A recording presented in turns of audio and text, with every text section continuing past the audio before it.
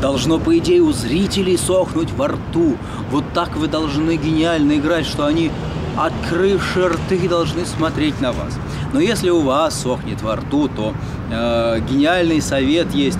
Подумайте о лимоне перед выходом. Вот если подумать о лимоне, а, кислый, а, а, и сразу как-то мозг начинает у нас вырабатывать слюни.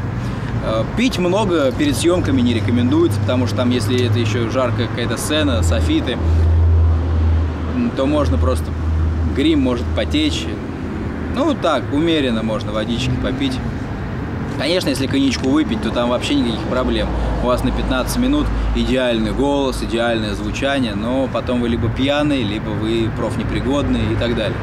Поэтому к этому не стоит прибегать. Так что э, боритесь со стрессом. Опять-таки, это какое-то стрессовое состояние. Вот здесь вот, если взять палец большой и потереть вот тут вот кадык перед каким-то экзаменом, стрессовой ситуации, перед выходом на сцену, то как-то идет расслабление. Вообще существует сотни техник расслабления.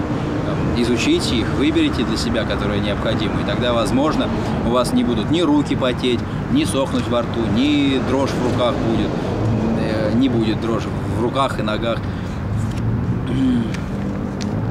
Надеюсь, это не психологическое у вас, а там физиологическое. Но бывает э, необходимо там удалить все бактерии изо рта, там чистите зубы, в конце концов, гигиену надо соблюдать.